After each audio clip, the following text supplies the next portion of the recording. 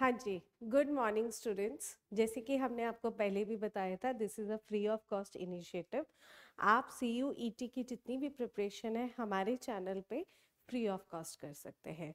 तो yesterday I had share the video जिसमें I had discuss the syllabus of the accountancy I hope उसमें आपको सारी clarity है। अगर आपको कोई दिक्कत नहीं है तो फिर हम next previous year question papers पे चलते हैं, जो कि हम 2023 का सॉल्व करने वाले हैं। Why we are going to do this exercises it's very important to understand कि कितना डिफरेंस है in the questions of C B S E board and C U E T and how to strategize again जैसा कि हमने आपको कल भी बताया था एक एक क्वेश्चन आपके लिए बहुत इंपॉर्टेंट है। अप्रॉक्स आपको वन मिनट ही मिलेगा इसकी आ, किसी भी क्वेश्चन को आंसर करने के लिए। तो इस पेपर के लिए स्ट्रैटेजी बनाना और उसको अच्छे से सॉल्व करना is going to be very very important I hope you stay with me till the last of the video and it is going to be a little lengthy video I hope आपको जहाँ जहाँ पे भी doubts हैं, आप उसको comment करके हमसे पूछिएगा. And before looking at the solutions जो कि मैं आपके साथ शेयर करने वाली हूँ आप एक मिनट के लिए पॉज कीजिए आप उन क्वेश्चंस को खुद अटेम्प्ट कीजिए। इट डजेंट मैटर अगर आपके काफ़ी क्वेश्चंस गलत होने वाले हैं। It is going to be just an exercise for you इससे आपको पता चलेगा कि आपकी प्रिपरेशन कितनी अच्छी हुई है और कितना अभी आपको आगे और जाना है। ठीक है बच्चों? So now let's look at the syllabus over here. Again, a reminder, we are going to have commerce subjects, Hindi, English, medical non medical general test that means morning to evening आपको free of cost C U E T civil step पे free of cost सारी videos आपको मिलने वाली हैं। कल से हमारे लाइव बैचेस शुरू है। अकाउंटेंसी अगर आप सीखना चाहते हैं या रिवाइज करना चाहते हैं या कोई भी आपके मन में डाउट है किसी भी चैप्टर को लेके तो आई वुड सजेस्ट कि आप मेरे साथ हर रोज़ शाम को छः बजे सिक्स टू सेवन पी के लिए जुड़िए और हम लाइव क्लासेस में आपके डाउट्स लेंगे, हम आप हर टॉपिक को डिटेल में डिस्कस करेंगे और उसको एक थर रिविजन के साथ आपको एग्ज़ाम के लिए भेजेंगे। जैसा कि हमें पता है सी यू ई टी का जो एग्ज़ाम है बच्चों it is going to be for two hundred marks over here और इसमें जो टाइम अलाउड आएगा वो है फोर्टी फाइव मिनट्स इसमें 50 एमसीक्यूज दिए गए हैं, जिसमें से आपको 40 अटेम्प्ट करने हैं। लाइक ए सेड आप कौन से क्वेश्चन को अटेम्प्ट करने वाले हैं, कौन से क्वेश्चन को नहीं करने वाले हैं, उसके लिए आपको रीड हर क्वेश्चन को करना पड़ेगा। तो दैट मीन्स आपकी रीडिंग स्पीड हमें यहाँ पे चाहिए। सेकेंडली उसको सॉल्व रीडिंग के साथ साथ सॉल्व करने के लिए भी अप्रॉक्स वन मिनट ही है हमारे पास। तो हमारे यहाँ पे एक्यूरेसी भी बहुत ज़रूरी है बच्चों। तो स्पीड एंड एक्यूरेसी पे हम ध्यान रखेंगे, जहाँ पे आपको एक सही आंसर के लिए फाइव मार्क्स मिलेंगे, एक गलत आंसर के लिए माइनस वन हो जाएगा। Like I told you one question can take wrong question can take you back to minus six points over here जो आप एक पॉइंट फाइव पॉइंट्स गेन करना चाहते थे, वो तो आप लूज करोगे ही करोगे, साथ में एक पॉइंट आपका माइनस भी हो रहा है। तो दैट मीन्स अगर आपके साथ वाले बच्चे ने या आपके बैचमेट ने वही क्वेश्चन सही किया है तो वो सिक्स मार्क्स आपसे आगे चला जाएगा। तो हर क्वेश्चन को बहुत ध्यान से पढ़ेंगे। कुछ क्वेश्चंस एलिमिनेशन के थ्रू होंगे, कुछ क्वेश्चंस हम, हमें उसमें तर्क लगाना पड़ेगा कि ये क्या पूछना चाह रहा है या हमें किसको किस तरीके से आंसर करना है, वो सब हम आज देखने वाले हैं so let's start the journey wherever you feel the possibility you can pause and look at the question first and then answer जो फ़र्स्ट क्वेश्चन है उसमें मैंने अभी आंसर दिया हुआ है आपको ताकि आपको थोड़ा सा इसमें आइडिया लगे तो let's read what they are trying to say. On R's retirement, the amount payable to him after all adjustments worked out to be 60,000. तो पार्टनरशिप का क्वेश्चन है आर की रिटायरमेंट इसमें हो रही है और उसको सिक्सटी थाउज़ेंड रुपीज़ का ड्यू हमारे पास आ रहा है। लेकिन जो पी एन क्यू है, उसके आर के जो बाकी के पार्टनर्स हैं, उन्होंने उसको सेवेंटी फाइव थाउज़ेंड रुपीज़ दिए एंड फिफ्टीन थाउज़ेंड एक्स्ट्रा थे। तो अब ये जो फिफ्टीन थाउज़ेंड एक्स्ट्रा दिए गए हैं बच्चों, ये क्या रिप्रेजेंट कर रहे हैं? There are four option share in profits hidden goodwill interest on is capital compensation for the past work तो अब अगर आपको इसका आंसर पता है तो please comment it also but मैं आपके साथ इसका आंसर शेयर करने वाली हूँ। इसका आंसर है हिडन गुडविल तो बच्चों, अगर आर को एक्स्ट्रा पैसे दिए गए हैं on his retirement by his other partners that is the hidden goodwill of the R over here I hope you have understood this question clearly let's move on to the next question identify the term that is use to show the amount received as per the will of a deceased person. तो अगर कोई व्यक्ति मर चुका है और उसने अपनी विल में कुछ छोड़ के गया है तो हम इसको क्या कहेंगे? ये टर्मिनोलॉजी का सीधा सीधा डेफिनेशन का क्वेश्चन है आपको। अगर आपने ये क्वेश्चन वैसे भी नहीं आपको पता है तो ये हम एलिमिनेशन के थ्रू भी कर सकते हैं। Look at it look at the options specific donations life membership fees subscriptions and legacies specific donations life membership fees और subscription ये सब एनपीओ नॉन प्रॉफिट ऑर्गेनाइजेशन में आती है और डोनेशन हमें पता है डोनेशन क्या होता है जब हम किसी को चैरिटी में देते हैं लाइफ मेंबरशिप फ़ीस होती है, अगर हम कोई क्लब वगैरह ज्वाइन करना चाहते हैं सब्सक्रिप्शन जैसे कि न्यूज़पेपर सब्सक्रिप्शन हो गया तो एक ही हमारा टर्मिनोलॉजी इसमें बचा है that is the legacy and that is the correct answer over here I hope अगर आपने पॉज किया है, इस पर आपने अच्छे से सोचा होगा कि इसकी टर्मिनोलॉजी में क्या क्या हम एलिमिनेट कर सकते हैं और इस क्वेश्चन को अटेम्प्ट कर सकते हैं। इस तरीके के इजी क्वेश्चन है बच्चों। These are a star question very easy over here in questions को आप मिस नहीं कर सकते ये आप एकदम कॉमन uh, सेंस से भी अगर यूज़ करेंगे तो you can solve it now moving on to the next question identify that account to which share of profit of a deceased partner deceased partner है देखो अगेन पार्टनरशिप से आपको बहुत सारे क्वेश्चंस आ रहे हैं डायरेक्ट क्वेश्चंस पूछे जा रहे हैं तो अगर आपने पार्टनरशिप अच्छे से रिवाइज नहीं किया है तो आई वुड सजेस्ट कि जब हम पार्टनरशिप रिवाइज करेंगे तो आप हमारे साथ जुड़िए, ताकि आपकी ये सारे कंसेप्ट कंसेप्ट जो है क्लियर हो जाए। तो identify that account to which share of profit of a deceased partner is debited from the date of the last balance sheet to the date of his और हर डेथ तो क्या उसके लिए कैपिटल अकाउंट बनेगा profit and loss account बनेगा profit and loss suspense account बनेगा या trading account बनेगा? By elimination we know that कि ये दोनों अकाउंट्स तो इसमें वैलिड ही नहीं है। कैपिटल अकाउंट में डिज़ीज़ कैपिटल डिज़ीज़ पार्टनर का कैपिटल अकाउंट जो है डिफरेंट हो जाएगा।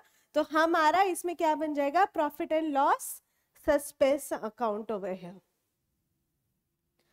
चलिए let's move on to the next question over here find out cash flow from financing activities from the following information तो ये कैश फ्लो का क्वेश्चन है और ये फाइनेंसिंग एक्टिविटीज़ है। हमें पता है cash flow is divided into three activities operating investing and financing activities तो स्ट्रेट अवे क्वेश्चन है ये बच्चों। एंड फाइनेंसिंग एक्टिविटी में कभी भी मैंने बहुत रेयरली देखा है कि बच्चों को कोई मिस्टेक होती है या कोई प्रॉब्लम होती है। Still will go ahead and look at it issue of equity shares 80000 redemption of preference shares 30000 over here interim dividend paid 25000 interest on debentures 15000 issue of debentures 30000 तो आपने बताना है कि ये टोटल आपका इनफ्लो आएगा कि आउटफ्लो आएगा सबसे पहले इसके लिए you have to make your cash flow statement ये मैं आपको डिटेल में करके दिखा रही हूँ। एग्ज़ाम में आप इसको कट शॉर्ट भी कर सकते हैं। You don't have to make the proforma proforma के कोई नंबर नहीं है। The concept should be clear in your mind over here तो यहाँ पे हम क्या लिखते हैं? Cash flow from financing activities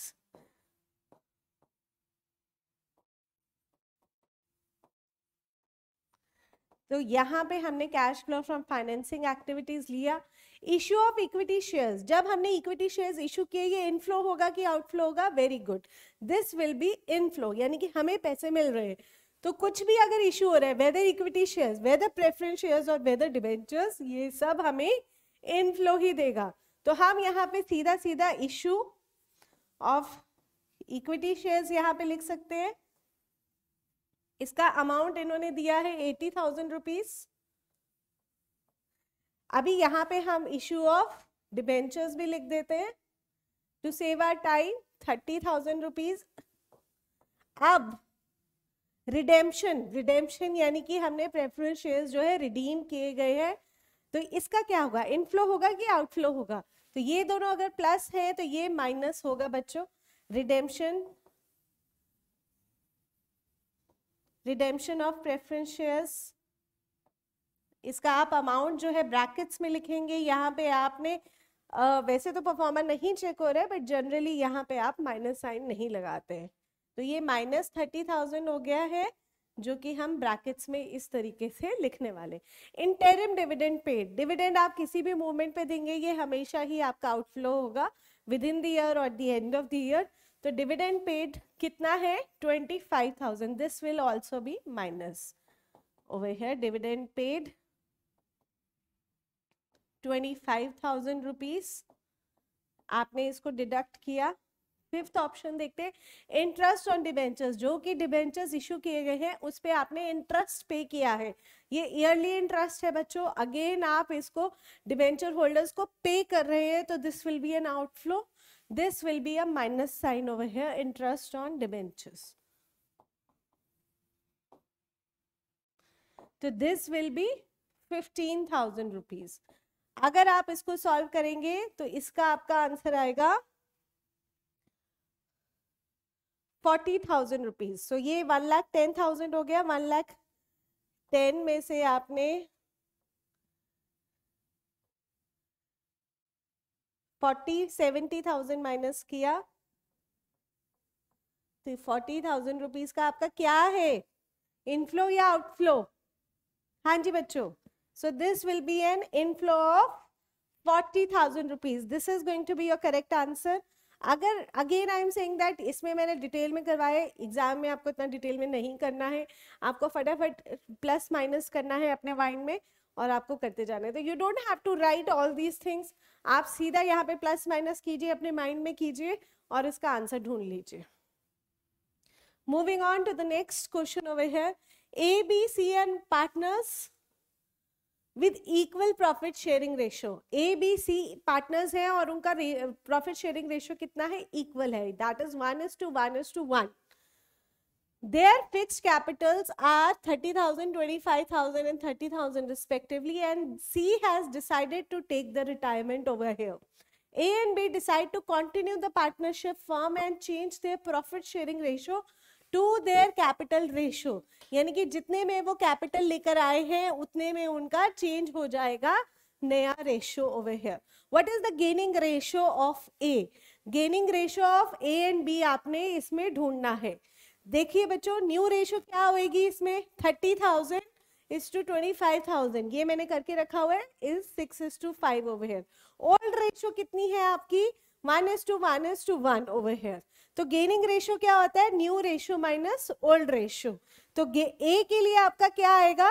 Six by eleven minus one by three similarly अगर आपने बी के लिए देखना है तो five by eleven minus one by three so this will give you your gaining ratio again I am saying you आपने इसमें smart work करना है। स्मार्ट वर्क कैसे करना है? जब आप ए के लिए निकालोगे तो ये आपका सेवन बाय इलेवन आ जाएगा। अब अगर आप ऑप्शन में देखोगे तो सेवन के साथ सिर्फ़ एक ही ऑप्शन यहाँ पर आ रही है। You don't have to go and solve for B over here smart work again you will straight away take the correct answer over here and move on to the next question out of the following when will when will the need for valuation of goodwill does not arise straight question है, theoretical based question है। अगर अब मैंने जो आपको कल बात बताई, यहाँ पे रट्टाफिकेशन या रोट लर्निंग पे हम ध्यान नहीं दे रहे हैं। हम यहाँ पे कंसेप्चुअल क्लैरिटी पे ध्यान दे रहे हैं।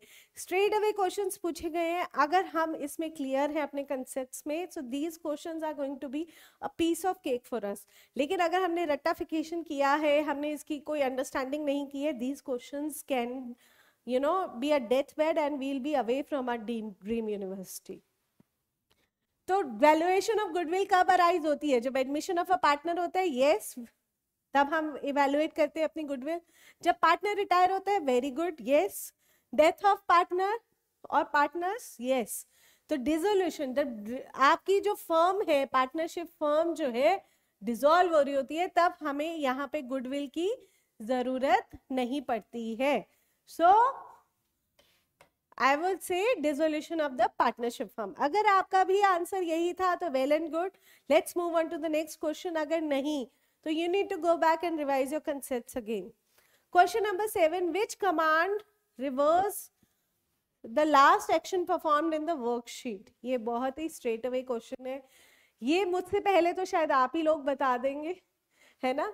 Control Z control P control Y control C तो कंट्रोल सी आपको कॉपी करने के लिए होता है कंट्रोल पी प्रिंट आउट के लिए होता है control Y if you want to copy the last sentence and then control Z जो कि आप अपनी असाइनमेंट्स बनाने के लिए बहुत ज़्यादा करते हैं कंट्रोल जेड है ना? लाइफ में कंट्रोल जेड ऑप्शन नहीं होता है जिसमें you can do do the last action of your life In which of the following cases the claim is valid if the partnership agreement is silent?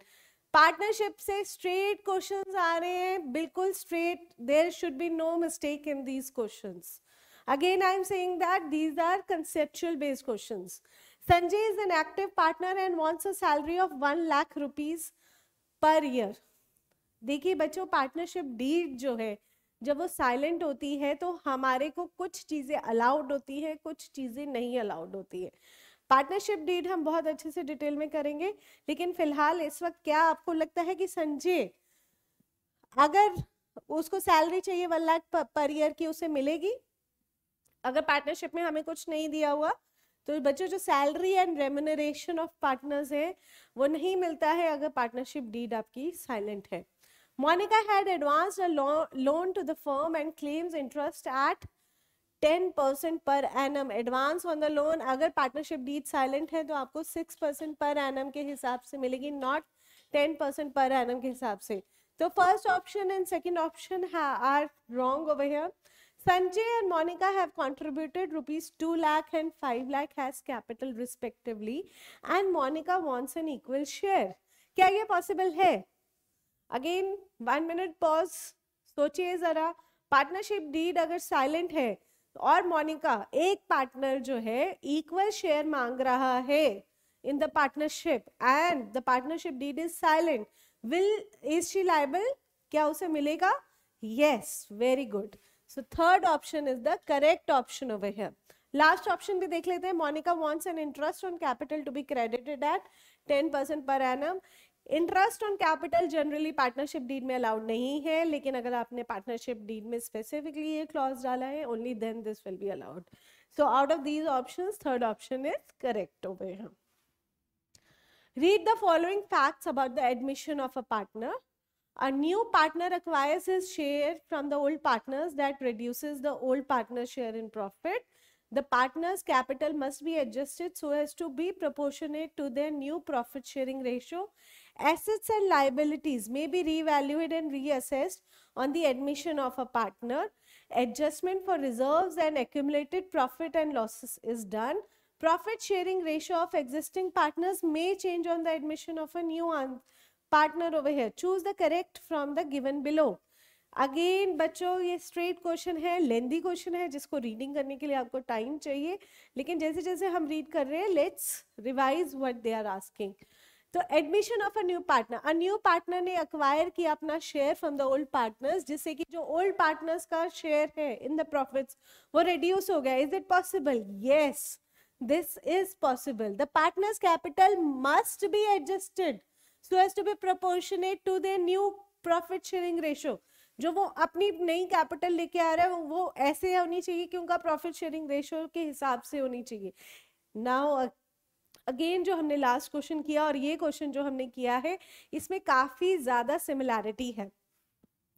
So this is the wrong option of again आपको partnership deed जो first two three pages है आपके partnership fundamentals के, अगर आपने उसको बहुत thoroughly किया है this question is going to be piece of cake for you assets and liabilities may be revalued and reassessed yes they are adjustment for reserves and yes हम करते हैं एडजस्टमेंट प्रॉफिट शेयरिंग रेशियो में change absolutely correct तो एक सिर्फ़ B ही इसमें correct है। तो अगर मैं देखूँ इसमें A B C D E B C D E C D E A C D E only तो इसमें ऐसे दो ऑप्शंस हैं जिसमें बी नहीं है। तो ये दो तो मेरे एलिमिनेट हो गए हैं।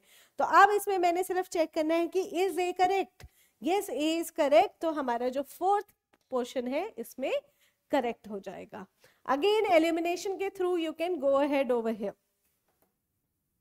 Now let's move on to the next question. Identify the ratio that is not computed for evaluating the solvency of the business. ऐसी कौन सी रेशियो है जो solvency of the business में हेल्प नहीं करेगी इसमें चार ऑप्शंस आपको दिए गए हैं debt equity ratio proprietary ratio operating ratio and interest coverage ratio तो सॉल्वेंसी रेशियो में डेट इक्विटी रेशियो आती है प्रोप्राइटरी रेशियो भी आती है इंटरेस्ट कवरेज रेशियो भी आती है। तो correct answer over here is your operating ratio जो आपको एक्टिविटी या एफिशिएंसी के बारे में एक्सप्लेन करती है, इसका सॉल्वेंसी से कोई दूर दूर का नाता नहीं है। अगर आप रेशियोज में कमज़ोर हैं please let us know we are going to revise this concept also but according to me this was a very straight away question इसमें आपकी गलती नहीं होनी चाहिए थी। Moving on to the eleventh question company can buy its own shares एक company अपने shares buyback कब कर सकती है? The debt equity ratio is not more than one two one after the buyback the amount of buyback shares in any financial year not exceeding 20% percent of the paid up capital and free reserve partly paid up capital partly paid up shares are considered buyback articles of association must authorize and special resolution has been passed for the buyback of shares तो ऐसी कोई भी condition आपकी buyback के लिए मैंने नहीं सुनी आज तक, सिर्फ़ और सिर्फ़ आर्टिकल ऑफ़ एसोसिएशन में इसका प्रोविज़न दिया होना चाहिए और एक स्पेशल रेजोल्यूशन से हमने इसको पास किया होना चाहिए तो we can buy back our own shares over here buy back में बच्चे ध्यान से हम पढ़ेंगे, इसमें कोई गलती नहीं होनी चाहिए, इसका थ्योरी और अकाउंटिंग पॉइंट ऑफ़ व्यू दोनों ही इंपॉर्टेंट है हमारे लिए। Moving on to the next question from the following identify the items that are payable to the retiring partner if mentioned in the deed. That means हमने retiring partner को क्या क्या पे करना है? अगर वो डीड में मेंशनड है तो दैट मीन्स हम यहाँ पे सारी पॉसिबिलिटीज लेके चल रहे हैं। क्रेडिट बैलेंस ऑफ़ हिज और हर कैपिटल और current account yes share of goodwill very good goodwill का शेयर उसको मिलेगा। Goodwill of the firm are we going to give to a retiring partner देखिए इसमें फॉर्म का अभी कुछ क्लोजर नहीं हो रहा है सिर्फ़ एक पार्टनर रिटायर हो रहा है। So we know we are not going to give the goodwill of the firm share in revaluation of gains and loss yes and share in accumulated profits और रिज़र्व येस तो इसमें B C uh, जो है is not the correct option over here again अगर हम देखें तो सी जो है इसमें दो ऑप्शंस में नहीं आ रहा है। वन एंड टू में अगर हमारे को क्लैरिटी है that the D and E are correct then it is going to be easy for us कई बार ऐसा होता है कि जब भी हम एलिमिनेट करते हैं तो हमारे पास दो ऑप्शंस रह जाते हैं बच्चों। अगर आपको डी और ई e में क्लैरिटी नहीं है देन आई वुड सजेस्ट कि आप ये क्वेश्चन स्किप कीजिए। लेकिन अगर आप बहुत क्लियर है, बहुत श्योर हैं देन आई वुड से कि ये आपके लिए बहुत इजी क्वेश्चन था।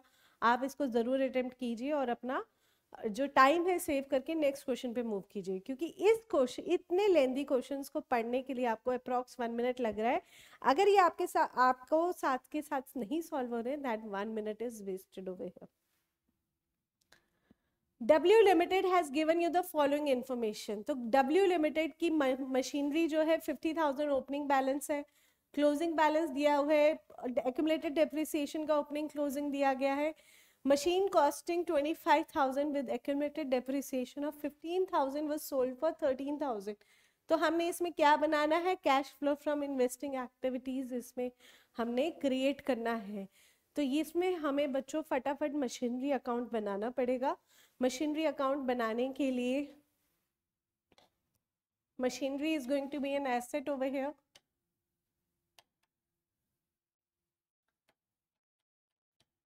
यहाँ पे आपका डेबिट आएगा, यहाँ पे आपका क्रेडिट आएगा। If I look back what were the opening and closing balances आपका ओपनिंग बैलेंस फिफ्टी थाउज़ेंड है क्लोजिंग बैलेंस सिक्सटी थाउज़ेंड है। तो आपका यहाँ पे आएगा to balance brought down fifty thousand and by balance carried down sixty thousand rupees अब हम देखते हैं एक्यूमुलेटेड डेप्रिसिएशन क्या मशीनरी अकाउंट में आएगा? नहीं। उसका अलग अकाउंट बनेगा, लेकिन फ़िलहाल हमें इतनी ज़रूरत नहीं लग रही है। This can be done without this अब एक मशीन को सोल्ड किया गया थर्टीन थाउज़ेंड रुपीज़ के लिए। यानी कि इसके अगेंस्ट हमें कैश कितना मिला? थर्टीन थाउज़ेंड रुपीज़ का। उस मशीन का कॉस्ट कितना था? उस मशीन का जो कॉस्ट था, बच्चे वो थे ट्वेंटी फाइव थाउज़ेंड लेकिन इस पर एक्यूमुलेटेड डिप्रिसिएशन जब हमने माइनस किया which is worth fifteen thousand rupees तो ये फिफ्टीन थाउज़ेंड हमने ट्वेंटी फाइव थाउज़ेंड में से माइनस किया तो उसकी वर्थ कितनी रह गई बच्चों? टेन थाउज़ेंड रुपीज़ यानी कि टेन थाउज़ेंड की जो मशीन है हमने थर्टीन थाउज़ेंड रुपीज़ की सेल आउट की है. तो इसको देखिए, इसको आप कैसे करेंगे? सबसे पहले आपको कैश कितना मिल रहा है यहाँ पे? थर्टीन थाउज़ेंड का यहाँ पे आपको कैश मिल रहा है। अगर हम यहाँ पे देखें उस पर एक्यूमुलेटेड डेप्रिसिएशन कितना था? एक्यूमुलेटेड डेप्रिसिएशन आपका आ गया यहाँ पे फिफ्टीन थाउज़ेंड रुपीज़ और कितना प्रॉफिट हुआ? टेन थाउज़ेंड की मशीन हमने थ्री थाउज़ेंड में सेल की है तो यहाँ पे आपका आ गया प्रॉफिट ऑन सेल अगर लॉस होगा तो वो आपका राइट हैंड साइड पे जाएगा थ्री थाउज़ेंड रुपीज़ अब आपने इसको टैली करना है और यहाँ पे आपने बैलेंसिंग फिगर निकालनी है। तो करके देखते हैं इसको। 28 plus sixty thousand is eighty eight thousand rupees आपका यहाँ पे। टोटल आया। This is also eighty eight thousand rupees eighty eight thousand में से फिफ्टी थाउज़ेंड आपने फिफ्टी थ्री थाउज़ेंड माइनस करने तो फटाफट करते हैं इसको। फाइव एंड थ्री तो this is going to be a thirty five thousand rupees यहाँ पे आपका बैलेंसिंग फिगर है. This is a star figure और the balancing figure over here तो यहाँ पे आपने क्या किया है? यहाँ पे आपने परचेज किया होगा बच्चों. तो ये आपका आउटफ्लो हो गया. इज़ इट क्लियर तो ये आउटफ्लो में आपका नेगेटिव आएगा यहाँ पे. तो this is going to be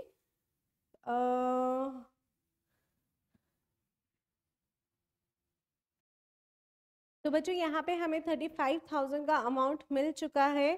अब देखिए ये हमें कैसे अपने जाल में फंसाता है।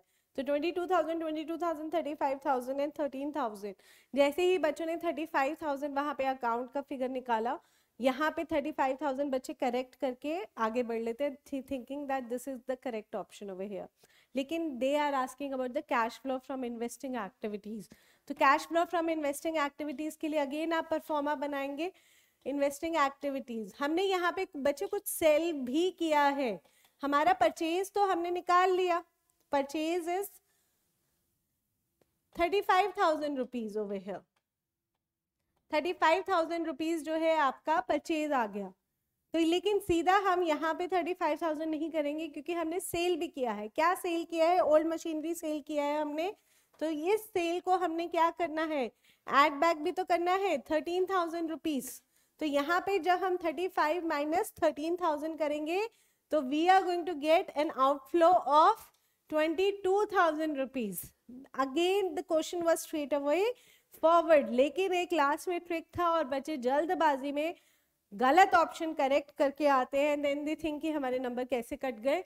तो this is the reason okay तो read the question very carefully they are not asking about कितना टोटल कैश परचेज था या बैलेंसिंग फिगर था. They were asking about the cash flow from investing activities over here.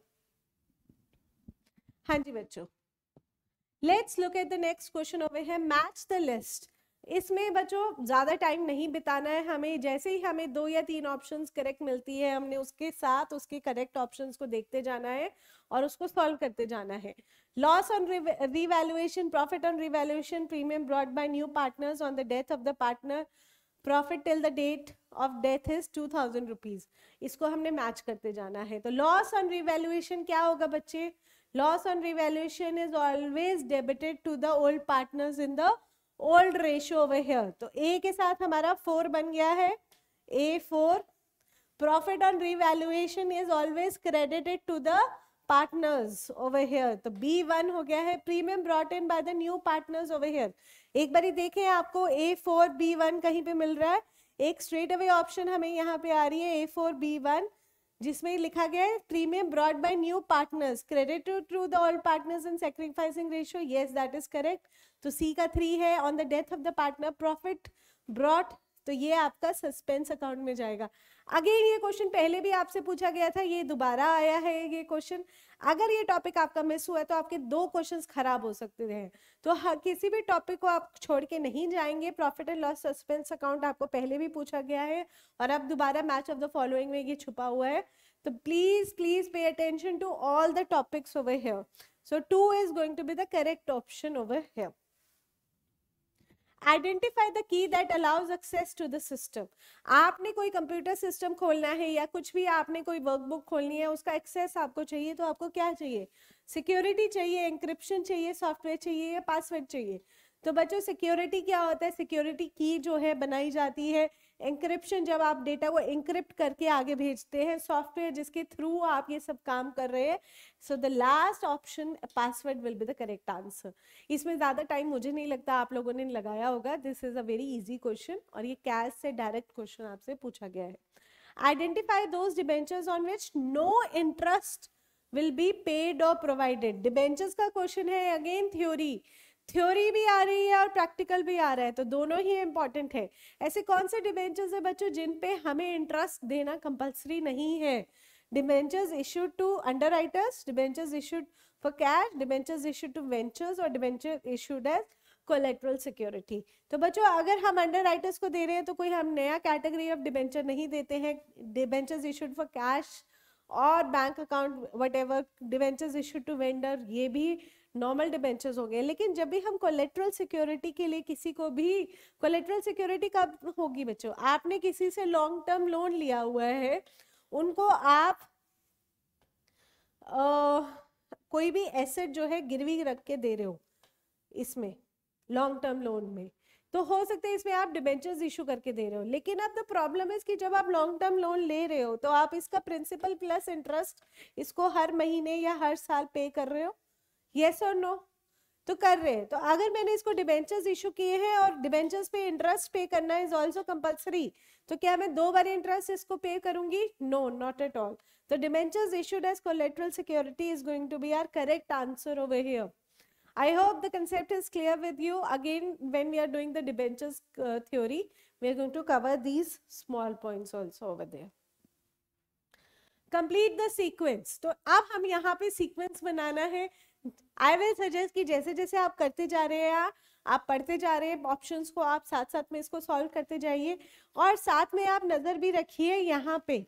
जैसे देखिए अगर आप A B C D E D A E C B B C D A E C D A B E यानी कि कोई ज़्यादा confusing इन्होंने options नहीं रखी है। जैसे ही आपको first two letters of the answer आपको मिल जाएँगे आई विल सजेस्ट कि आप फटाफट अपना आंसर टिक कीजिए और उस मूव ऑन कीजिए। कई बार ऑप्शंस बहुत क्लोज होती हैं।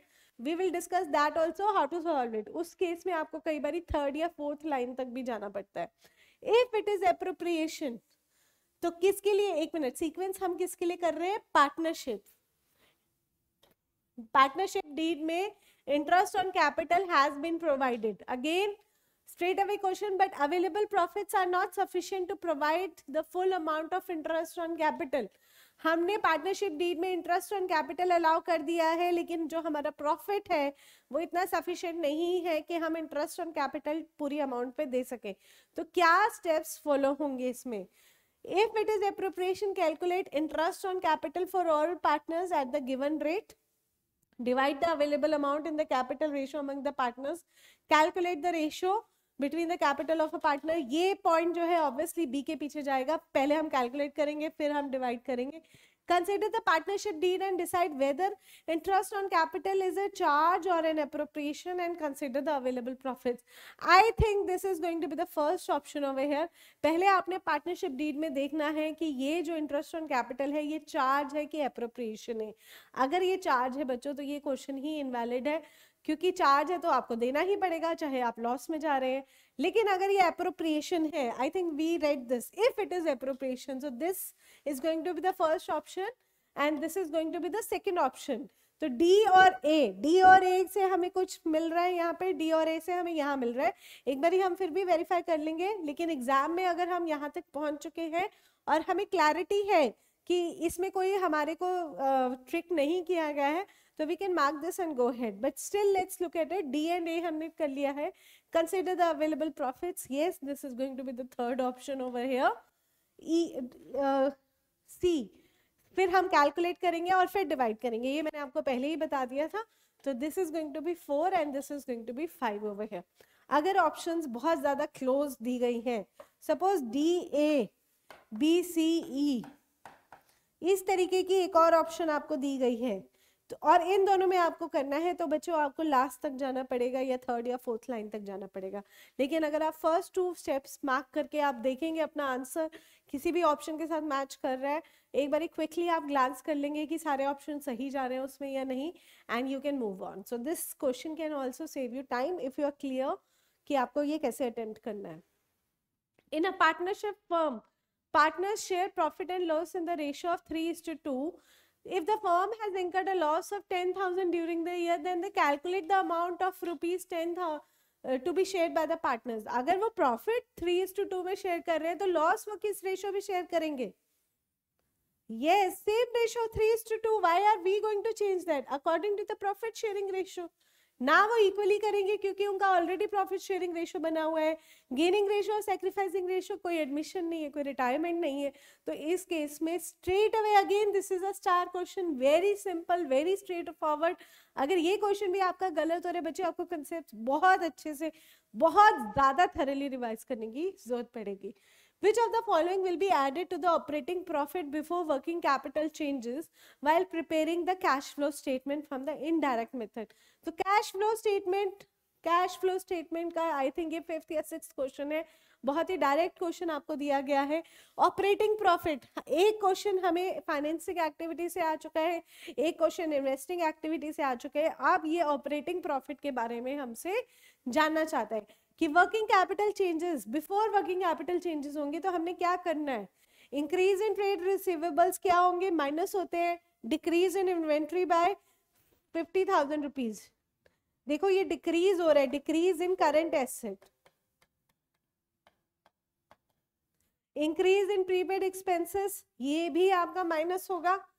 Decrease in trade payables by twenty thousand ये भी आपका माइनस होगा। तो स्ट्रेट अवे क्वेश्चन आपका यहाँ पे क्लियर हो रहा है कैश फ्लो स्टेटमेंट से।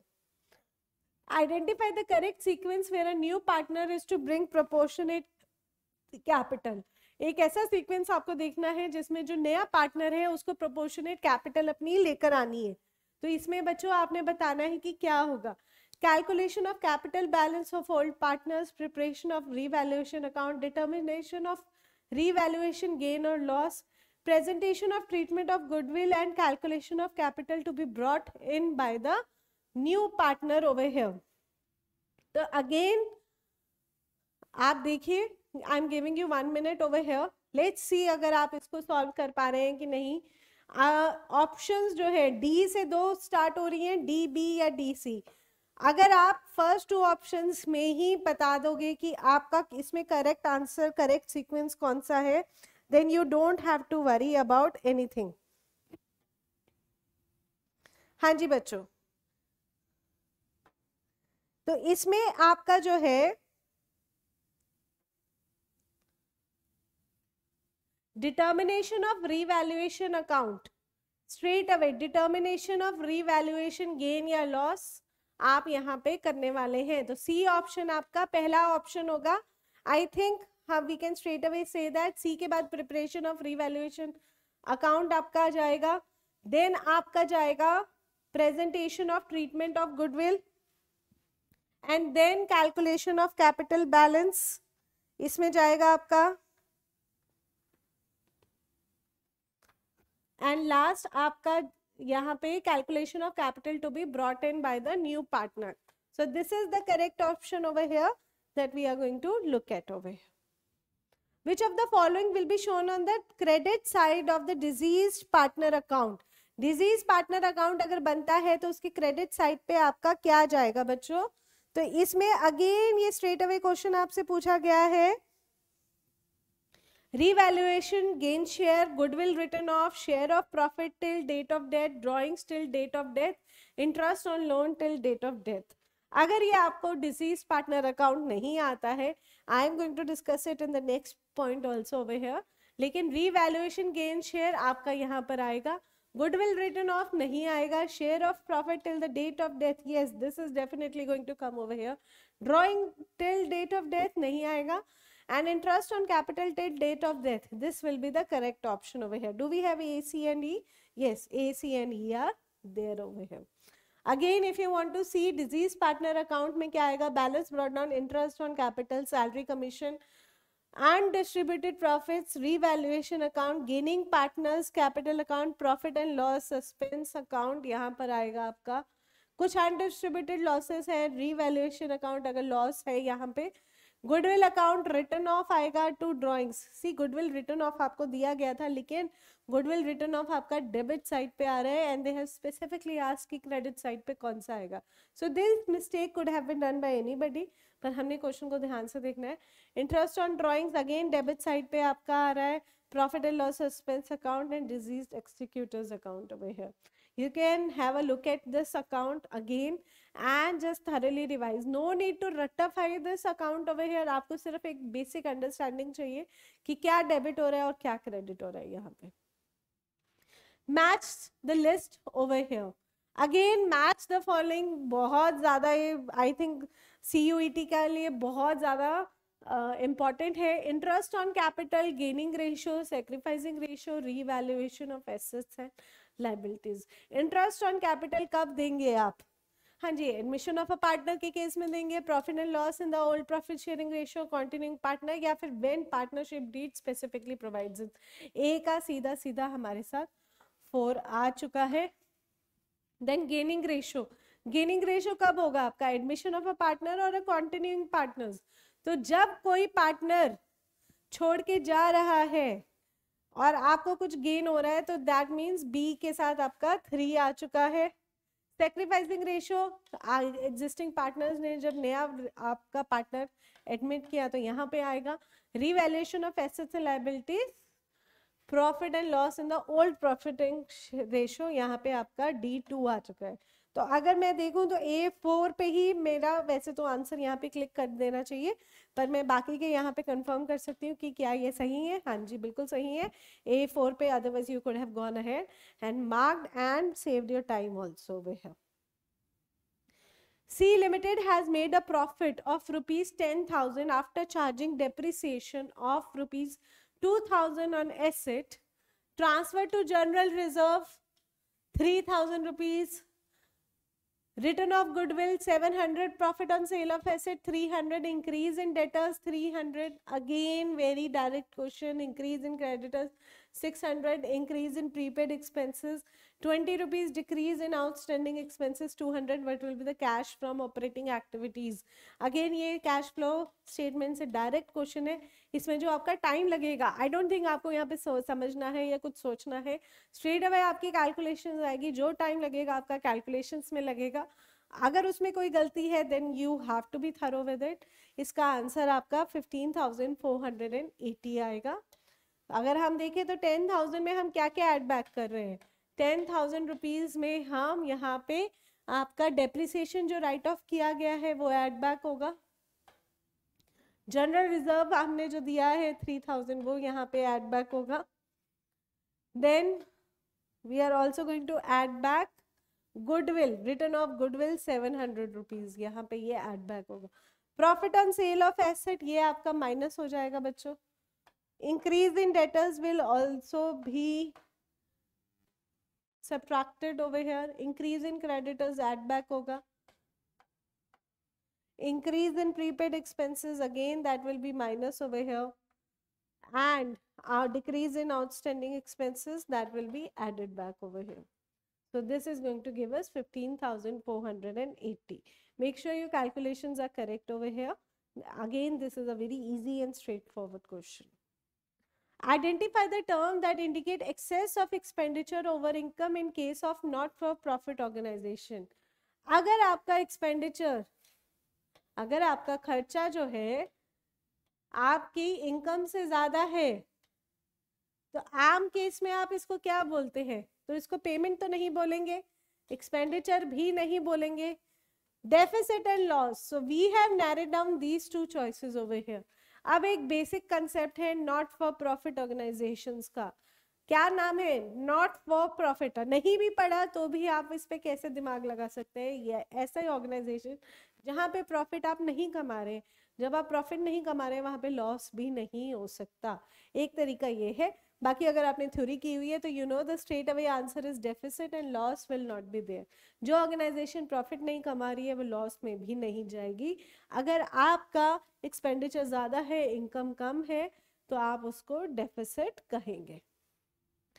Separate disclosure of cash flow arising from financial activities is important because again financial activities की थ्योरी पूछी गई है कि हम कैश फ्लो में फाइनेंशियल एक्टिविटीज़ को क्यों कैलकुलेट करते हैं separately it helps in identifying investment activities invest gaining activities देखो, इनमें क्या कीवर्ड है? इन्वेस्टिंग इन्वेस्टिंग अगर मुझे ये पूरा सेंटेंस पढ़ने की भी ज़रूरत है। फाइनेंशियल एक्टिविटी पूछा है और उसके ऑप्शंस में इन्होंने मुझे इन्वेस्टिंग एक्टिविटीज़ दे दिया है तो वो तो स्ट्रेट अवे बच्चों आपका एलिमिनेट हो रहा है। So even if you don't know पढ़ के भी देख लेते हैं। It is useful in predicting claims on future cash flows by providers to the fund to the enterprise yes तभी हम फाइनेंशियल एक्टिविटीज़ कैलकुलेट करते हैं। तो कुछ क्वेश्चंस आपने देखा एलिमिनेशन के थ्रू कर रहे हैं हम। कुछ क्वेश्चंस हमें सॉल्व करने पड़ रहे हैं। कुछ क्वेश्चंस में हमारा सारा ही नॉलेज जो है टेस्ट आउट हो रहा है। So C U E is this is how the exam is going to be identify the salient features of income and expenditure account from the following. Again, income and not for profit organization. कई बच्चे मुझे कह चुके कि, ma'am, इसमें हम बिल्कुल zero है। Worry we are going to revise it tomorrow you have to join me on Monday every day in fact at six to seven P M लेकिन फ़र्स्ट टू थ्री डेज़ हम not for profit organisation को देने वाले हैं। उसकी theory और उसके numericals thoroughly हम करने वाले हैं। So if you don't know those parts please join us tomorrow at six to seven P M तो अब इनकम एंड एक्सपेंडिचर अकाउंट में आप देखिए it is prepared on accrual basis yes जो इनकम एंड एक्सपेंडिचर अकाउंट है, वो accrual basis पे दिया जाता है। It includes both revenue as well as capital items तो देखो बच्चों इनकम एंड एक्सपेंडिचर अकाउंट आपका प्रॉफिट एंड लॉस अकाउंट के सिमिलर होगा। क्या प्रॉफिट एंड लॉस अकाउंट में आप रेवेन्यू और कैपिटल दोनों इंक्लूड करेंगे? सोचिए। Please let me know it is prepared after taking into account the additional information regarding outstanding prepaid expenses and depreciation yes its result is in surplus or deficit अभी हमने देखा ना profit कमा रहे हैं हम ना लॉस कमा रहे हैं तो हम क्या कमा रहे हैं सरप्लस या फिर डेफिसिट अगर आपका एक्सपेंडिचर कम है इनकम से तो आप सरप्लस में है अगर एक्सपेंडिचर ज़्यादा है इनकम से तो आप डेफिसिट में है सेम क्वेश्चन दोबारा से मोल्ड करके दिया गया है दैट मीन्स अगर आप कोई टॉपिक मिस कर रहे हो तो ये आपका सेकेंड क्वेश्चन गलत हो सकता है। It is prepare with the help of receipt and payments account yes तो कौन सा ऑप्शन इसमें गलत है? बी तो अब आप देख लीजिए A B C D A B C सभी में बी आ रहा है, सिर्फ़ इस ऑप्शन में बी नहीं आ रहा है, बाकी ऑप्शन हमने करके देख लिए हैं। B is the wrong option over here what is the correct sequence again sequence बनाने की बात कही गई है बैलेंस शीट की company account as per the schedule three ये क्वेश्चन तो आप नींद में भी I think you should be able to solve it this is such a straightforward question और इसमें आपके मतलब कि एक माइंड मैप होता है, आपके स्ट्रेट अवे आ जाना चाहिए कि ये क्या सीक्वेंस आने वाला है। Non current liabilities non current assets shareholders funds current assets and current liabilities तो हम किससे शुरू करने वाले हैं? शेयर होल्डर्स फंड से। शेयर होल्डर्स फंड हमारा authorise capital paid up capital reserve and surplus ये सब हमारा शेयर होल्डर्स फंड में जाएगा। फिर आपके आते हैं नॉन करेंट लाइबिलिटीज जो आपके लॉन्ग टर्म लोन्स आपने बोरो किए हैं from the bank from the institution और the individuals then we are going to have the current liability over here then we are going to have non current assets over here non current assets में आपके क्या आ जाएँगे? Tangible and intangible assets that means fix assets एक तरीके से आपके आ जाएँगे and current assets over here तो क्या हमारा कोई ऑप्शन यहाँ से सी से शुरू हो रहा है? सी से देखो बच्चों, हमारे पास दो ऑप्शन है तो सी के बाद ए करेक्ट आ रहा है। तो हमारे बाद third E C A E तो ये वाला जो है तो हमने ये थ्री पॉइंट्स तक सॉल्व अगर हम करेंगे तो will be comfortable enough to eliminate the other over here तो ए और बी तो हमारा ए से तो हमारा कोई भी ऑप्शन नहीं स्टार्ट हो रहा है सी से ही स्टार्ट हो रहा है। Then match the list over here again match sequence matching इस तरह के क्वेश्चंस में जो e है, आपसे एक नहीं, चार या पाँच चीज़ें डायरेक्टली पूछ रहा होता है। तो ये आपका जो डेप्थ ऑफ़ नॉलेज है जो आपका वैरायटी ऑफ़ नॉलेज है, दोनों ही इम्पोर्टेंट मैटर करता है। Current maturity of long term debt, security premium, outstanding salary premium on redemption of debentures non current liability है शॉर्ट टर्म बोरिंग्स है अदर करंट लाइबिलिटीज है रिजर्व्स एंड सरप्लस है। जो मुझे directly straight forward outstanding salaries कहाँ जाएगा? Current liability में जाएगा सिक्योरिटीज एंड प्रीमियम्स कहाँ जाएगा? रिजर्व्स एंड सरप्लस में। तो सी थ्री आ रहा है मेरा और बी फोर आ रहा है। क्या मेरे पास कोई ऐसा ऑप्शन है? बी फोर के मेरे पास दो ऑप्शन है, लेकिन सी थ्री का मेरे पास एक ही ऑप्शन है। तो I think this is going to be correct पर हम एक बार फिर भी देखेंगे कि what we are going to do premium on redemption of debentures कहाँ आपका जाएगा? आपका बच्चे अदर नॉन करंट लाइबिलिटीज में जाएगा। तो यहाँ पे क्या डी वन है? यस और ये देखो current maturities of long term debt short term borrowings ये कैसे पॉसिबल है? तो ये करंट टाइम पीरियड में मेच्योर होने वाली है। डेट तो लॉन्ग टर्म है तो ये लॉन्ग टर्म बोरिंग्स में जाना चाहिए शॉर्ट टर्म बोरिंग्स में नहीं जाना चाहिए। लेकिन ये जो है, आपका करंट टाइम पीरियड में मेच्योर हो रहा है तो this is going to be A two so this is all the options are correct अगर हम डायरेक्टली भी, हमें यहाँ पे दो ऑप्शंस पता चल गई थी तो हम उसके थ्रू भी एलिमिनेट करके अपना आंसर सॉल्व कर सकते थे। How many blank worksheets are shown by default when a new workbook is created? जब हम वर्कबुक बनाना शुरू करते हैं तो हमारे को कितनी ब्लैंक वर्कशीट्स दी जाती है? टेक्निकल क्वेश्चन है, लेकिन ऐसा नहीं है जो आपने नहीं किया। तो अगर आपने ध्यान दिया होगा तो it is three over here जब हम कैश करेंगे तो उसमें हम अच्छे से थरली इसकी थ्योरी करेंगे। On first July central limited issued 25 lakh 8 percent debentures of rupees 100 each as collateral security to the first level bank against loan dues of 20000 rupees यानी कि आपका लोन जो था 20 लाख का था, लेकिन आपने इसमें कोलेट्रल कितनी दी है बच्चों? 25 लाख का डिवेंचर्स इशू करके दिया है 8 परसेंट पे। तो how much amount will be shown in the balance sheet balance sheet में आप क्या दिखाने वाले हैं? बैलेंस शीट में आप क्या दिखाएँगे? पच्चीस लाख बीस लाख ये दोनों चीज़ें। तो दोनों में से एक चीज़ ही आएगी बच्चों। तो फोर्टी फाइव लाख और सेवेंटी लाख ये तो आपके ऑप्शंस बिल्कुल ही कर, गलत हो गई है। अब आप देखिए ये कोलेट्रल का सेकेंड क्वेश्चन है। कोलेट्रल सिक्योरिटी का आपको पहले भी एक डायरेक्ट क्वेश्चन आया हुआ है। तो कोलेट्रल सिक्योरिटी पे अगर आपको ज़्यादा कोलेट्रल सिक्योरिटी ऑफ़ डिवेंचर्स पे आपको ज़्यादा क्लैरिटी नहीं है तो ये क्वेश्चन भी आपके लिए डिफ़िकल्ट होने वाला है। लेकिन इसका क्या आंसर है? ट्वेंटी लाख रुपीज़ यानी क्योंकि हमने इस पे इंटरेस्ट नहीं देंगे ना बच्चे? हमने उसको इशू करके दे दिया, लेकिन हम इस पर इंटरेस्ट नहीं दे रहे हैं। ना ही हमें कोई प्रोसीड आए हैं पच्चीस लाख रुपया। तो यहाँ पे हम अपना लोन ही दिखाएँगे लॉन्ग टर्म बोरोइंग्स में। Is it clear when a company issues shares in open market and the amount is payable in installments. जब कोई कंपनी शेयर्स को करती है इशू ओपन मार्केट में और इंस्टॉलमेंट्स में मांग रही है what is the sequence of amount demanded by the company again theory of shares straight away question है, इसको बिना पढ़े ही आप सॉल्व कीजिए। I think this is very very easy सबसे पहले आपका क्या आता है? आप क्या मंगवाते हैं? एप्लीकेशन मनी मंगवाते हैं। एप्लीकेशन मनी के बाद जब आपको अलॉटमेंट हो जाती है, फिर आप उसके बाद क्या करते हैं? अलॉटमेंट मनी आपने दिया। पहले आपने अप्लाई किया कि मुझे इतने शेयर आप अपनी कंपनी के दे दीजिए।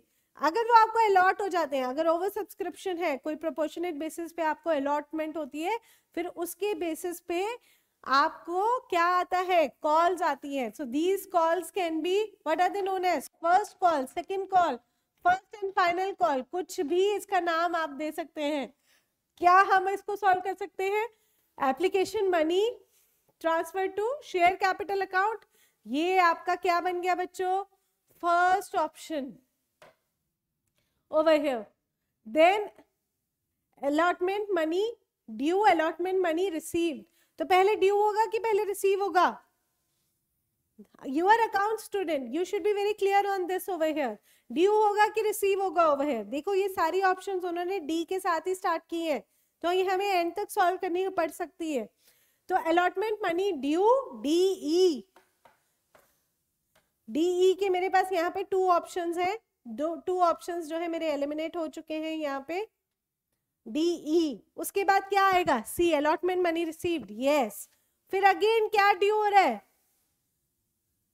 फिर मनी ड्यू ऑन कॉल्स तो बी आएगा बच्चों इसमें एंड लास्ट में मनी रिसीव्ड ऑन कॉल्स तो D E C B A this is going to be your correct answer over here इसमें आपको बहुत क्लोज ऑप्शंस दिए गए थे तो this you could have done with the help of solving till the last point but ये बहुत easy question था you should have been able to do very easily and बच्चों again C U E T की preparation जो है, हमारे channel पे free of cost हो रही है तो you can join us every day for all the subjects general testing Hindi English commerce all the subjects will be covered over here is it clear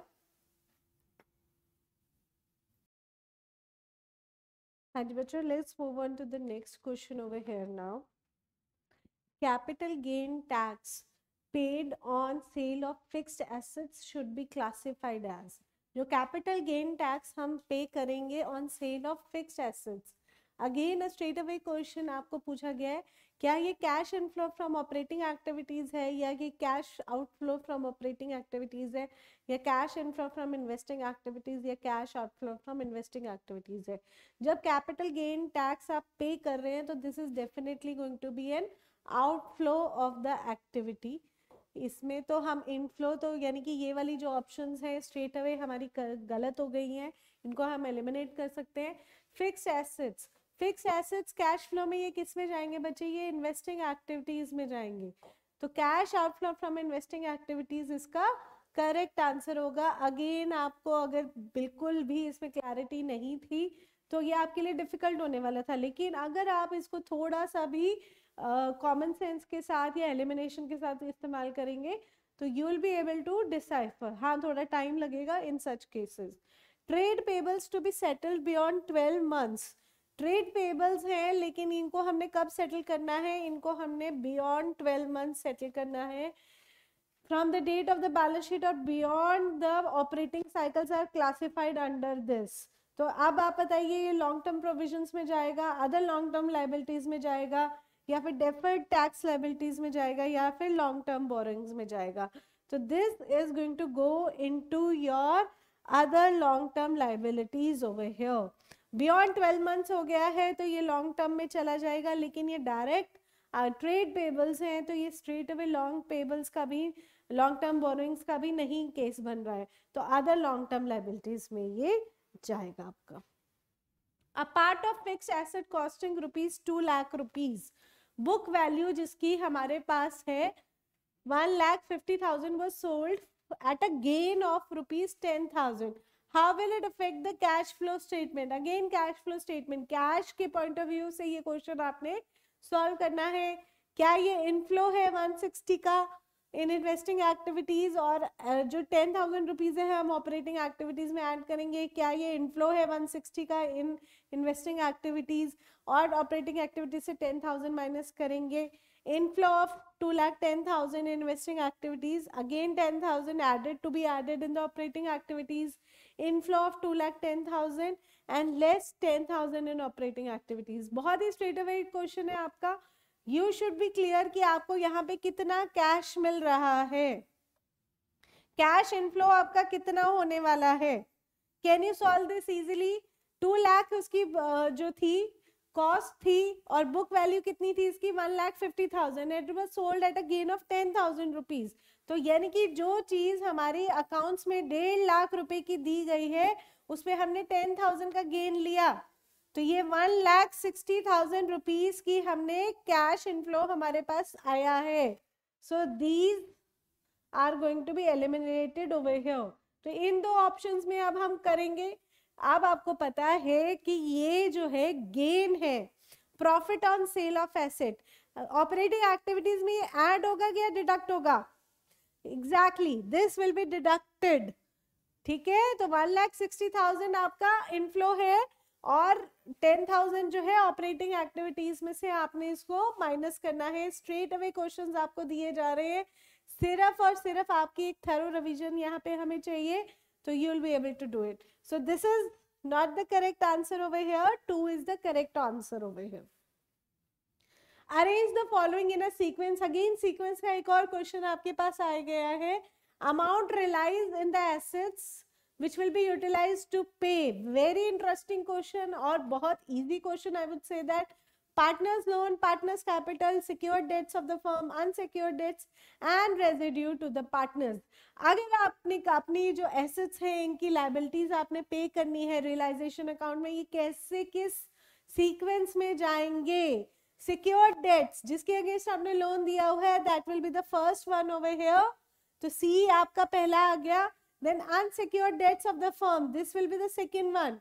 C C D सारे ही option C D से start हो रहे हैं। तो C D हमारा correct जा रहा है यहाँ पे। अब हमने देखना है कि वेदर इट्स ए और ई रेजिड्यू टू पार्टनर्स कुछ बचा है तो हम पार्टनर्स को देंगे। ये सबसे लास्ट में जाता है बच्चों। तो this is going to be the fifth one over here उससे पहले हम क्या देंगे? पार्टनर्स लोन या पार्टनर्स कैपिटल अगर पार्टनर का हमारे पास लोन आया हुआ है that will be the first one to pay, फिर हम कैपिटल उसको पे करेंगे और फिर भी अगर हमारे पास कुछ बचता है तो हम पार्टनर्स को रेजिड्यू पे करते हैं। तो C D A C D A B E this is going to be the correct option over here C D A B E third is the correct answer over here I hope आप साथ साथ में solve कर रहे हैं।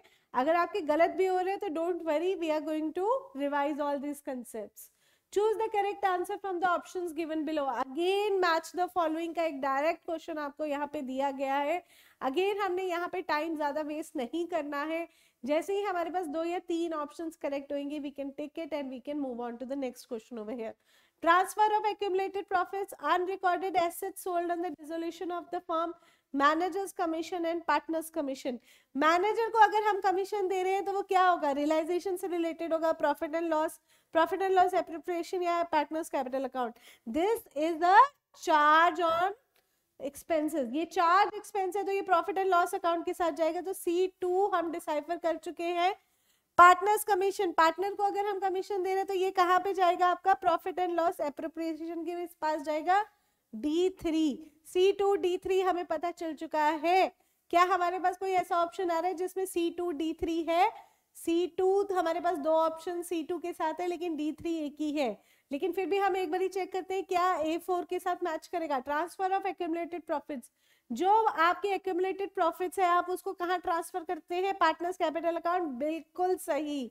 सो A four जो है, आपका करेक्ट ऑप्शन है। और बी के साथ unrecorded asset sold on the dissolution of the firm, ये आपका रियलाइजेशन अकाउंट के साथ जा रहा है।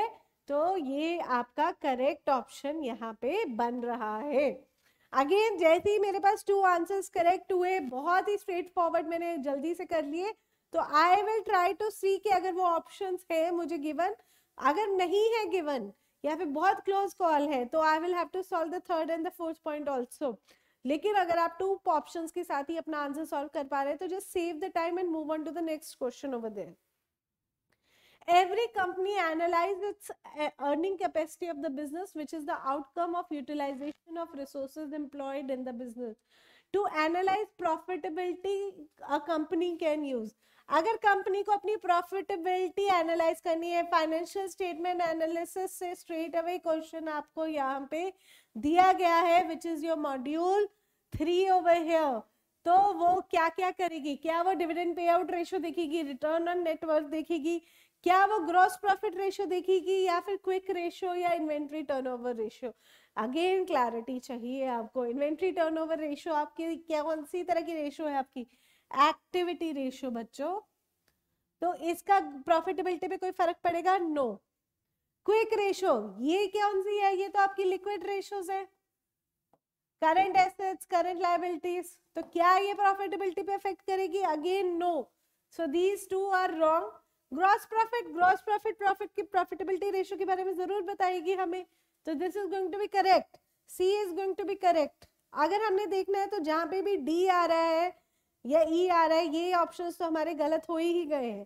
तो ए बी सी या A C E E again तो देखो एलिमिनेशन से I have already founded out कि A B C is going to be correct answer because D E जिसमें भी है डी ई ई इन्होंने यहाँ पे भी दिया हुआ, यहाँ पे भी दिया हुआ तो we I know this is wrong लेकिन फिर भी हम देखते हैं return on net worth again this will tell you about the profitability dividend pay out ratio एक डिविडेंड के अगेंस्ट कितना आपका पे आउट जा रहा है, ये आप यहाँ पे प्रॉफिटेबिलिटी रेशियोज में चेक कर रहे हैं। Choose the correct answer from the following options given below again match the following CUET में आपका again I am telling you vastness of the subject and depth of the knowledge both are being getting checked जो भी आपका sequence है या फिर A B C D A C D E A B D इस तरह के जो भी ऑप्शन आपके आते हैं, इसमें आपको कंसेप्चुअल क्लैरिटी बहुत ज़्यादा चाहिए। आपको अगर एक कंसेप्ट पता है, लेकिन बाकी के तीन कंसेप्ट नहीं पता तो देर इज़ अ चांस कि आपका वो क्वेश्चन गलत हो जाएगा। तो हमने हर टॉपिक को कवर करना है थरली उसको डेप्थ में रिवाइज करना है और कंसेप्चुअल क्लैरिटी के साथ करना है। तो interest charges sale of services salary and dividend income ये कहाँ कहाँ पे जाएँगे? इंटरेस्ट चार्जेस कहाँ होते हैं? आपके फाइनेंस कॉस्ट पे होते हैं। Sale of services sale of services क्या हो गया? रेवेन्यू फ्रॉम ऑपरेशंस आप अपनी सर्विसेज़ को सेल कर रहे हैं तो ये आपकी सेल्स बन गई। सैलरी क्या हो गया? आपका employ benefit expenses basically it's an expense उसके आगे एम्प्लॉयज़ बेनिफिट दे दिया। अपने आप उनका बेनिफिट होगा जब आप उनको सैलरी पे कर रहे हैं dividend income this will be your other income तो ये क्या बन रहा है आपका? A four sale of services is revenue from operations B three salary is C one and D is two तो क्या ऐसा कोई ऑप्शन है? ए फोर के आपके दो ऑप्शन है। तो ये तो आपके एलिमिनेट हो गए हैं। ये वाले options A four B three A four B three वाला आई थिंक ये वाला करेक्ट ऑप्शन जा रहा है सी वन डी टू ये so this is going to be a correct answer बाकी सारे ऑप्शन आपके गलत जा रहे हैं in this case now select out of the following that leads to the need of the codification codification की क्या ज़रूरत होती है? Encryption of the data no to secure various accounts yes to keep proper records no आप encryption क्यों कर रहे हैं? आप इंक्रिप्शन इसलिए कर रहे हैं ताकि आपका अकाउंट सेफ़ रहे, आपके पास प्रॉपर रिकॉर्ड्स रहे और कोडिफिकेशन होती रहे। लेकिन आप कोडिफिकेशन क्यों कर रहे हैं? टू सिक्योर वेरियस अकाउंट्स इसके आपका इंक्रिप्शन जो है is the bigger umbrella over here उसका सब पार्ट जो है कोडिफिकेशन आएगा। तो first option is correct codification आप रिकॉर्ड्स के लिए नहीं कर रहे हैं। This option is obviously incorrect तो ये आपका टेक्निकल नॉलेज अगेन टेस्ट हो रहा है, इसके लिए आपको पढ़ना पड़ेगा। Select the sub head under which loose tools sub head है, पूछा गया बैलेंस शीट के अगेन सेकंड डायरेक्ट क्वेश्चन आपको पूछा गया है which will be shown in the balance sheet of the company तो यानी कि आपने बैलेंस शीट जो है, बहुत जो बड़ी वाली है, वो जो पाँच हेड्स हम इधर करके चले जाते हैं, वो वाला नहीं बच्चे डिटेल्ड में आपने हर बैलेंस शीट को पढ़ना है, हर टॉपिक को पढ़ना है। रट्टा इसमें थोड़ा बहुत लगेगा, लेकिन हाँ अंडरस्टैंडिंग भी आपकी ज़रूरी है। तो अगर हम देखें तो एक सब हेड मांगा है, उन्होंने लूज टूल्स के लिए किस साइड पे जाएगा? लूज टूल्स क्या होते हैं? ये वो चीज़ें होती है जो छोटे मोटे औज़ार हो गए या छोटी मोटी कह लो टूल्स हो गई है। Now they are not a part of stock जो आप रीसेल कर रहे हो, ठीक है ना? वो आपका स्टॉक का पार्ट नहीं है। सपोज़ मशीन है आपकी, बहुत बड़ी मशीन है, उसके साथ आपके साथ पेचकस पड़े हैं नट्स एंड बोल्स पड़े हैं, आप उसको सेल तो नहीं करने वाले हो, लेकिन दैट इज़ इम्पोर्टेंट क्योंकि आपने उसका इस्तेमाल करना जब भी मशीन ब्रेक डाउन हो रही है तो these are going to come into the loose tool categories of inventories over here current asset no. Trade receivables? No. Other current assets? No. Inventory is the correct answer over here. ठीक है बच्चों? Again I am telling you इसमें balance sheet अगर आपने detailed वाली पढ़ी हुई है, जो आपका ढाई तीन पेजेस तक जाती है तो ही आप इसको सही तरीके से आंसर कर पाते। अब, जो इंटरेस्टिंग पॉइंट है हाँ I know that this is a very lengthy question and you may think कि बाप रे बाप, इतना लेंदी क्वेश्चन है। But this is one of the I would say a very fruitful question over here क्योंकि इस क्वेश्चन के basis पे आपके जो अगले वाले पाँच क्वेश्चन हैं, यानी कि एक क्वेश्चन आपने रीड करना है, उस पर पाँच अलग अलग तरह के क्वेश्चन आपको पूछे गए हैं। एक ही क्वेश्चन से आपने इंफॉर्मेशन गैदर करनी है और आपने उसको सॉल्व करना है। अगर आपको again it is just like passage reading अच्छे से आपने पैसेज रीड किया, उसके बेसिस पे आपने क्वेश्चन किए तो आप इसको कैसे करेंगे? पहले आपने इन्फॉर्मेशन ग्लांस थ्रू की, फिर इसके बेसिस पे आपने क्वेश्चंस देखे फटाफट और फिर आप वापस से अपने क्वेश्चन पे आओगे। तो उन्होंने अब आपसे क्या क्या पूछा है, ये सब हम देखेंगे। तो let's start this is going to take some time to understand अब आपने क्या करना है, एक कंपनी है जिसकी ऑथराइज कैपिटल जो है टेन लाख रुपीज़ है which is divided into the shares of ten each इस कंपनी ने फिफ्टी थाउज़ेंड शेयर्स इशू किए हैं at a premium of rupees two per share payable as follows application पे उन्होंने थ्री रुपी मंगवाया है अलॉटमेंट में फाइव है जिसमें कि इंक्लूडिंग प्रीमियम है तो ये थ्री प्लस टू हो गया। फ़र्स्ट एंड फाइनल कॉल आपका यहाँ पर आ जाएगा। Applications were receive for 60,000 shares issue company ने 50,000 शेयर्स की है लेकिन एप्लीकेशन कितनी की रिसीव हुई है? 60,000 शेयर्स की हुई है। Then they were given a proportionate तो प्रो राटा इसमें आपका आ जाएगा। All money was received except first and the final call from Hari Hari ने फ़र्स्ट एंड फाइनल कॉल नहीं दी थी, उसने एप्लीकेशन मनी और अलॉटमेंट मनी दी थी। इसने अप्लाई कितने शेयर्स के लिए किया था? 1200 शेयर्स के लिए। अभी हम देखते हैं कि हमारे पास कौन कौन से क्वेश्चंस उन्होंने पूछे हुए हिज शेयर्स वर फोरफिटेड उसके शेयर्स को फोरफिट कर दिया गया था। And later half of his shares जो इसके आधे शेयर्स थे, उनको दोबारा से हमने री इशू किया था at rupees eight per share as fully paid up over here तो चलिए देखते हैं फ़र्स्ट क्वेश्चन क्या है।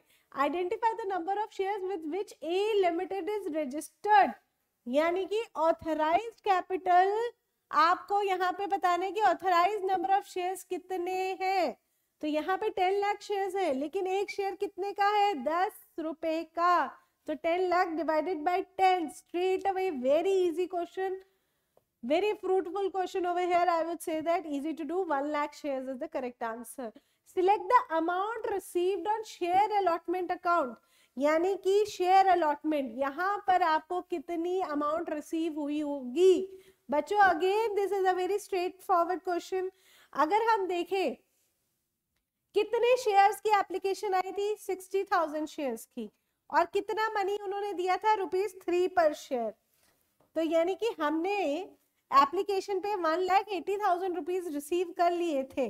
लेकिन हमने इसमें से अलॉट कितने किए थे प्रोराटा बेसिस पे? फिफ्टी थाउज़ेंड तो we needed only fifty thousand rupees तो ये जो हमारे पास एक्सेस मनी है, ये हम आने वाले उसमें अलॉटमेंट में एडजस्ट करेंगे. So this is thirty thousand this is the excess money that we have received now allotment पे हमने हमारे, हमने कितना कॉल किया था? रुपीज़ फाइव पर शेयर अब फाइव को हमने किससे मल्टीप्लाई करना है? फिफ्टी थाउज़ेंड से या सिक्सटी थाउज़ेंड से? कितना अलॉटमेंट हुआ है बच्चों? फिफ्टी थाउज़ेंड शेयर का। तो five into fifty thousand rupees ये हमारे ड्यू बन रहे हैं। लेकिन हमारे पास एक्सेस मनी तो पड़ी हुई है। Application amount ten thousand share की। तो वो हम इसमें से माइनस करेंगे।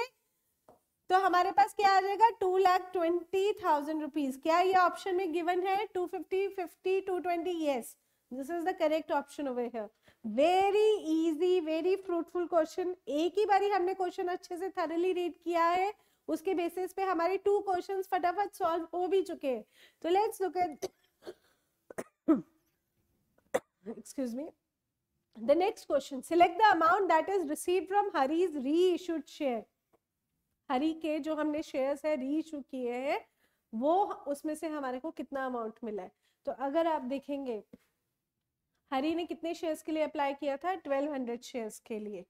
जब हमारे पास 60,000 शेयर्स की एप्लीकेशन आई थी तो हमने उनको कितने शेयर्स दिए थे? 50,000 रुपीज़ 50,000 शेयर्स तो हरी ने अगर 1200 शेयर्स के लिए अप्लाई किया था तो उसको कितने अलॉट हुए होंगे? हाँ जी बच्चों तो 1200 यूनिटरी मेथड कर रहे हैं इसमें 50 divided by 60 so this will give you 1000 shares. That means Hari applied for 1200 shares लेकिन उसने हमें कितना उसको हमने कितना अलॉट किया था? 1000 शेयर्स का। और जो फ़र्स्ट कॉल जो इसकी ड्यू थी, वो इन 1000 शेयर्स पे ही थी। तो सबसे पहले कितने नंबर ऑफ़ शेयर्स उसके फोर फीट हुए थे? थाउज़ेंड शेयर्स फोर फीट हुए होंगे इसके, और उसमें से री इशू हमने कितने किए हैं? 500 shares half of his shares again application पे नहीं अलॉटमेंट के के बेसिस पे हम देखेंगे।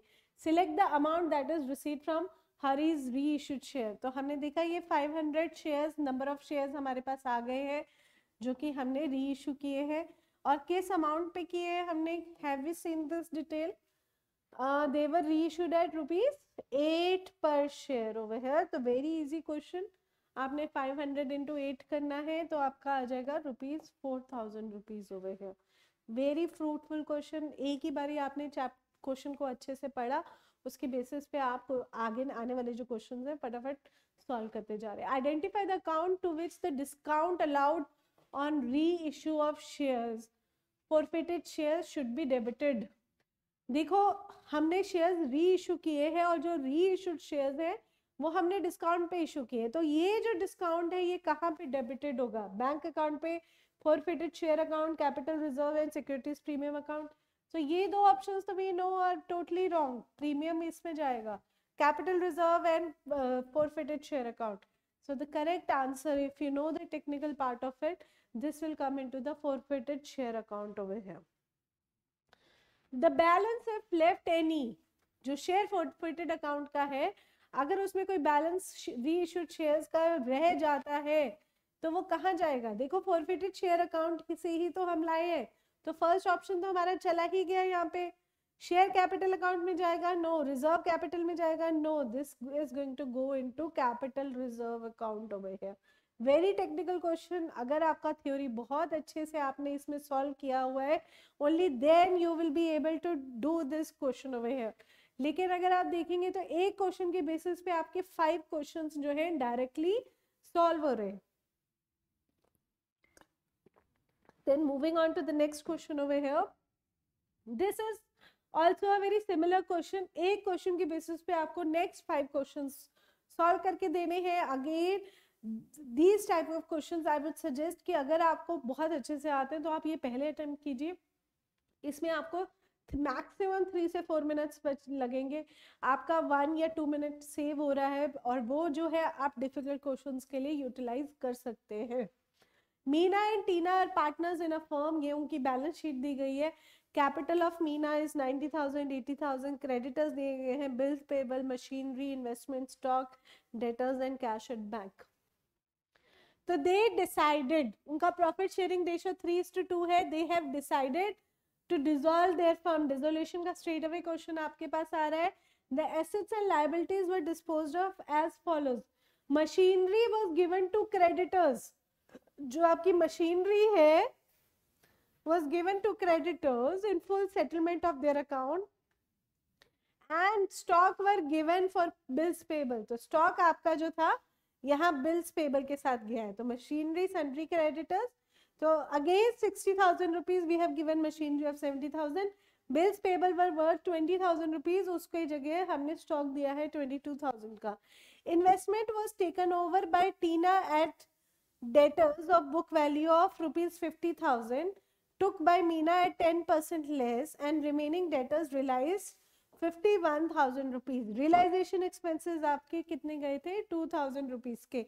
तो investment जो थी ये टीना के पास आपकी गई थी जो डेटर्स थे उसमें से कुछ पोर्शन आपका मीना का आ, मीना के पास गया था कुछ पोर्शन में आपके पास कैश आ गया था तो these are the information that has been given to us now let's look at what sort of questions they are asking on the basis of it when a creditor accepts an asset whose value is more than the amount due to him straight away fill in the blanks तो बहुत सोच समझ के हम इसको answer करेंगे।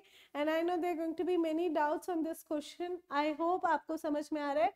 जब creditor ने एक्सेप्ट किया एक एसेट जिसका जो वैल्यू था is more than the amount due to him जैसे कि इस केस में हमने देखा क्रेडिटर्स कितने थे? सिक्सटी थाउज़ेंड लेकिन क्रेडिटर्स व सिक्सटी थाउज़ेंड लेकिन जो उसको मशीनरी हमने प्रोवाइड की थी, वो सेवेंटी थाउज़ेंड की थी। ठीक है? He he will dash the excess amount which will be credited to the dash account. He, अब आप देखिए इसको कैसे देखना है।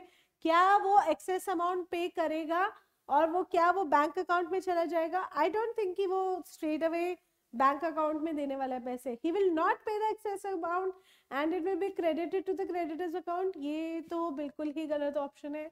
He will pay the excess amount which will be credit to the realisation account not pay वाली option I would say is totally correct bank account में ये कभी नहीं जाने वाली है. This is by elimination we can see ये हमारा सही आंसर आ गया.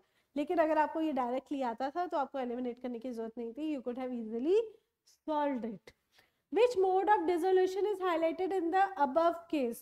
Compulsory dissolution theory straight away उन्होंने आपसे थ्योरी इस केस में पूछी गई है. Dissolution by agreement dissolution by court dissolution on happening of contingency कोई आपदा आई है या सरकार, आपका जो कोर्ट है, उन्होंने पे कहा है कि आप अपनी फर्म को डिसॉल्व कर दीजिए। कंपल्सरी डिसोल्यूशन हुआ है या फिर एग्रीमेंट से डिसोल्यूशन हुआ है? तो let's look at the statement over here Meena and Tina are partners they decided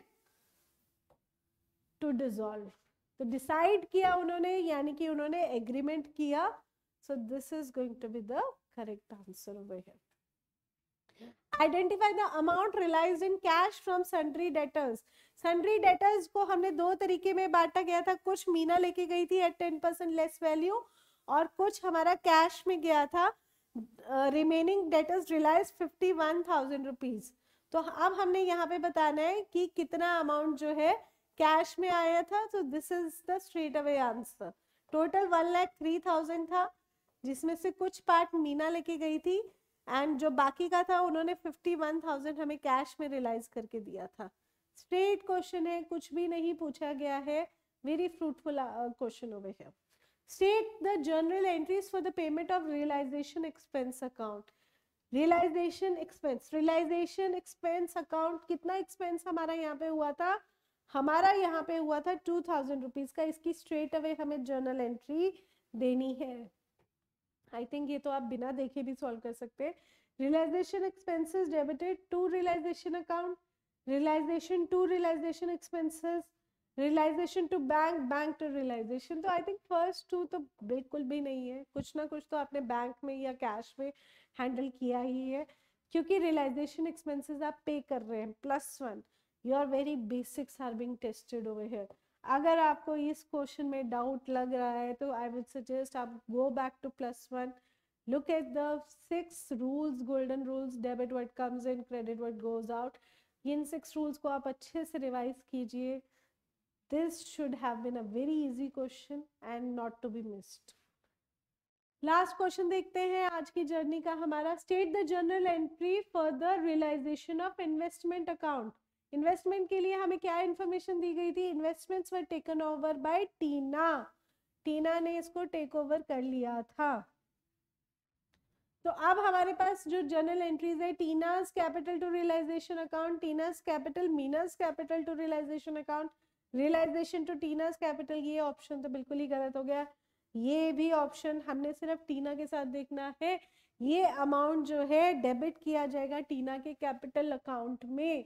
Straight away question from the partnership partnership में आई थिंक मेजोरिटी इस बरी के क्वेश्चन आए then the second majority will be from the cash flow statement over here cash के I think three और four question थे, उसमें technicality ज़्यादा थी. Two question very easy to attempt two three question needed some information about it तो overall आज का हमारा जो सेशन है एंड हो रहा है I hope you were able to solve most of the questions जहाँ पे भी आपके डाउट्स है बच्चे उनकी लिस्ट बनाइए उन चैप्टर्स को थरली रिवाइज कीजिए again this is a free of cost initiative by the C U E T civil staff and every evening 6 to 7 please join me for the accountancy for a live class and tomorrow onwards we will start with non-profit organizations best of luck make the best use of this content that we are sharing.